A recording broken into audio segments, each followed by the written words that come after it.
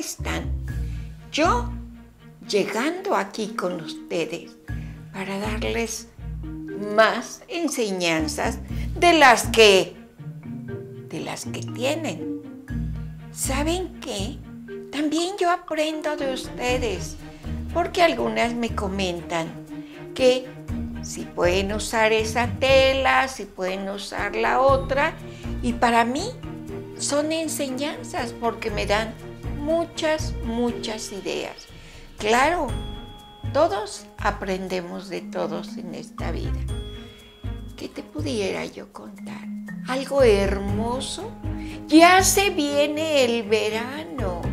El verano es esa estación o ese tiempo de, de mucho calor que luego ya no sabe uno ni qué ponerse, ni qué ponerse porque empiezas a dejar las blusas o los vestidos de telas gruesas para ponerte blusas o vestidos de telas muy hermosas, casi claras, a veces transparentes, pero que todo esto nos conlleva a pensar que el ser humano siempre pasa por estos estadios. Estos estadios de primavera, verano, otoño y nuevamente el invierno. También así en nuestra vida debemos de tener esa alegría de vivir, de sentir, de amar, de aprender. Claro, porque todo conlleva para un crecimiento del ser humano. Ese crecimiento que a veces cuesta mucho trabajo y que el ser humano tal parece que va caminando hacia atrás o tal parece que a veces va corriendo demasiado rápido. Yo te diría algo, tranquila, vamos tomando esta clase como un inicio a algo hermoso que está por llegar, que es el verano, y que vamos a hacer algo muy bonito, muy fácil y con tela que te alegrarán la vida y el ojo y el alma. Así es que vamos a hacer un top de verano, la cosa más sencilla del mundo. Pero como lo vamos a hacer de tela delgada, te voy a enseñar a forrarlo. Claro que te voy a enseñar a forrarlo. Para que te salgas al jardín, a tomar un helado, a tomar un té, un mate y luzcas tan bella como siempre has sido. Acuérdate, eres alumna de la casa de Rosina y estos consejos que te doy son como gotitas para el alma, porque te las doy a ti, pero me sirven a mí. Y nos vamos a los materiales.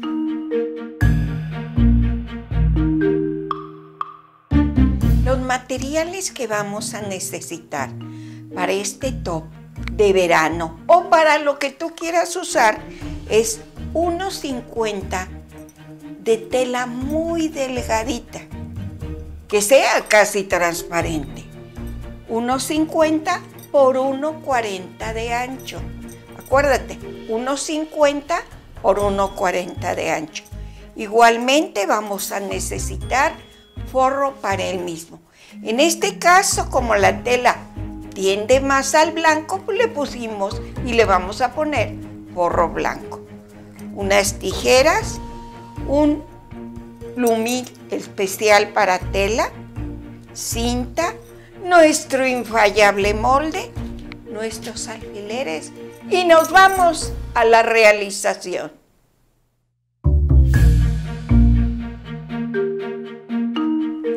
Nuestra tela delgadita, de la que a ti te guste y de la que encuentres. La doblé a la mitad y nuevamente a la mitad para que nos queden cuatro partes. Y nuestro molde, que es nuestra infallable camiseta, la vamos a poner a la mitad.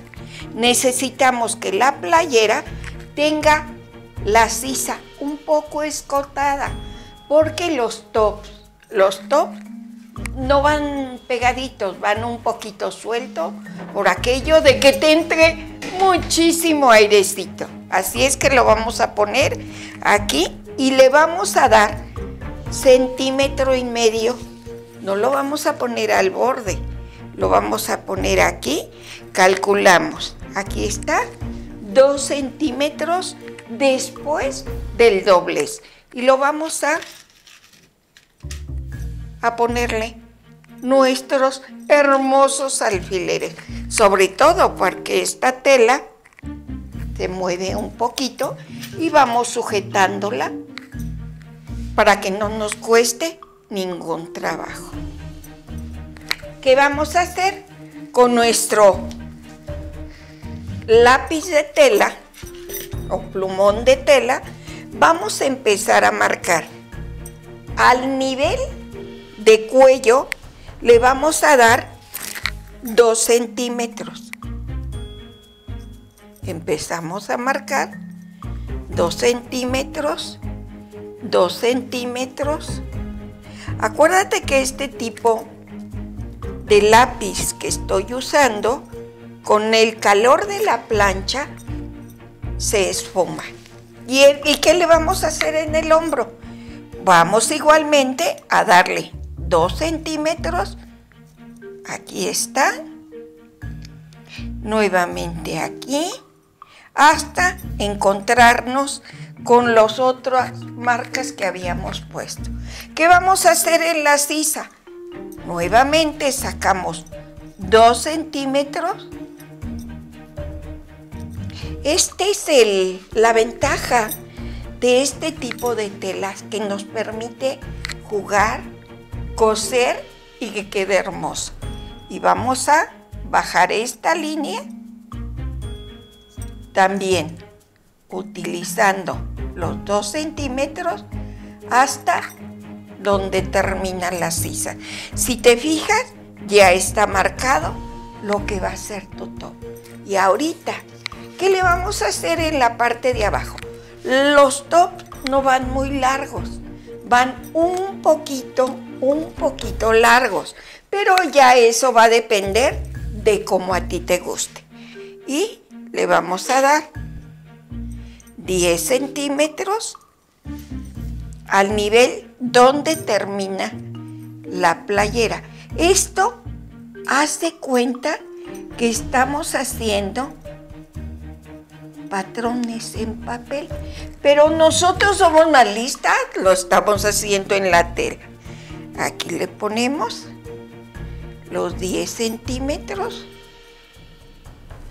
Pero le vamos a hacer un truquito. Vamos a pasar esta medida. Ya se me anda enredando. Aquí está. La tomamos del centro, del centro, no de donde dimos los 2 centímetros, del centro de donde marca nuestra playera. ¿Y qué vamos a hacer? Aquí nos marca del centro del hombro hacia abajo, nos marca 64. Aquí está. Fíjate lo que va a hacer Rosina. La va a llevar sin soltar el dedo, la va a llevar hacia un costado. Aquí está. 64 porque te tiene que quedar un blusón, un top muy vaporoso. Y de aquí, de donde termina la sisa, hacia abajo, vamos a marcar la línea donde va a ser la línea de corte. ¿Quieres que te lo explique otra vez? A ver. Marcamos 2 centímetros en el escote, 2 centímetros en el hombro. Sacamos un poquito porque lleva costura.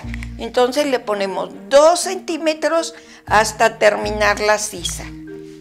Yo le puse 10 centímetros después de donde terminó la playera. Lo llevé hasta el final y ¿qué voy a hacer? Del hombro de la playera hacia abajo me marcó 64 centímetros. Aquí está. Sin mover la cinta, le vamos a dar un giro para que solita la blusa o la tela nos dé esa amplitud que queremos para este hermoso top. Ya que la tenemos, porque es una curvita de donde terminó la sisa hacia abajo, nuestra cinta, que es también hace magia, aquí ya nos marcó qué es lo que ocupamos para hacer y que no te quede pegado ese lindo top. Y nos vamos a cortar. Aquí ya tenemos la parte delantera y la parte de la espalda. ¿Viste qué hermoso? Pues más hermoso se va a ver cuando le pongamos el forro. ¿Cómo lo vamos a poner? Ahorita te voy a enseñar. ¿Qué vamos a hacer con el forro? Yo en este caso lo puse blanco porque los tonos de la tela va más en blanco. Igualmente vamos a doblarlo a la mitad y nuevamente a la mitad. ¿Y qué vamos a usar de molde? Pues el que ya tenemos, ya sea de la parte de atrás o de enfrente, para cortar. Ese va a ser nuestro molde. Y lo vamos a poner con nuestros alfileres para que no se mueva. Eso sí, te doy una recomendación. Como va a ser esto forrado, tiene que ir exactamente igual que el molde que sacamos. Aquí está. Y nos vamos a cortar. Aquí ya tenemos cortado lo que es el forro y lo que es la parte de arriba, tu tela hermosa. ¿Qué vamos a hacer primero? Vamos a coser con costura recta los hombros y su puntada de zigzag de las dos partes, del forro y de la parte de la tela. Porque lo primero que vamos a hacer va a ser el cuello para que te quede hermoso. Así es que nos vamos a la máquina. Aquí ya está cosido el hombro y con su zigzag. Lo vamos a poner del lado derecho e igualmente la parte de la tela, la que es la bonita, diría yo, y también vamos a hacer coincidir las costuras de los hombros y nos vamos a ayudar con nuestros alfileres. Eso sí, tiene que coincidir perfectamente las costuras de los lados, o sea, de los hombros para después pasarle una costura recta para empezar a formar lo que es el cuello. Porque como todo va a ir forrado, pues tiene que quedar muy bien. Así es que nos ayudamos con los alfileres, con los alfileres, haciendo coincidir costuras y lo pasamos a la máquina. Aquí ya tenemos pasada la costura recta como te había explicado y le hice su zigzag. No estoy metiendo remalladora porque no todas tienen remalladora. Yo lo que estoy usando es un zigzag simple. ¿Qué vamos a hacer? Con nuestras tijeras y con mucho cuidado vamos a hacerle unos piquetitos porque acuérdate, el, cuello es curvo y esto nos va a permitir que no se doble ni se haga como un churrito. Lo hacemos de un lado e igual del otro. Aquí ya tenemos nuestro cuello que nos va a ayudar la plancha. Entonces, ¿qué vamos a hacer con los costados? Vamos a unir nuestra hermosa tela por el revés e igual lo hacemos con la tela blanca, de un lado y del otro. Aquí la marcamos, la alineamos a que nos quede muy parejita y vamos a pasarle una costura recta. Ya terminamos de coser costuras de costado, cuello. Ahora nos queda, ¿qué vamos a hacer con la sisa? La sisa, fíjate lo que vamos a hacer. Como ya lo tenemos todo cocido, entonces vamos a darle un dobladillo hacia adentro, agarrando las dos telas. Le haces dobladillo al blanco y dobladillo al de flores, le prendes un alfiler, así todo alrededor y lo pasamos a la máquina. Así queda este top veraniego fresquísimo, que lo vas a lucir tú también con la tela que tú tengas. Pero aprendiste una técnica, el forrado de una blusa, aunque sea sencilla, que nosotros le llamamos top, porque se viene esa temporada preciosa que es el verano y te vas a hacer muchos. Así es que necesito que te suscribas. Acuérdate, también estoy en Facebook, La Casa de Rosina, y en YouTube, La Casa de Rosina. No se te olvide, dedito arriba, suscríbete y te voy a pedir una cosa, compártelo, para que vean las linduras que hacemos en la Casa de Rosina. Nos vemos en la próxima.